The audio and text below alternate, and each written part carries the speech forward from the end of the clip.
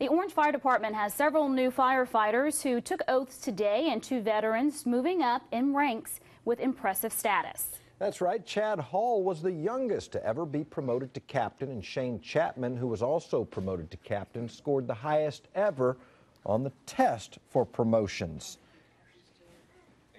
Promotion. The induction ceremony took place in the training room at the Orange Fire Department, and despite scoring so well on the test, Chapman still says there's room for improvement. There's a lot of different ways to serve the community, be a librarian, a nurse. I wouldn't be good at either. I feel like I'd be a decent fireman, and I have been so far. Hopefully, I can continue to get better each day.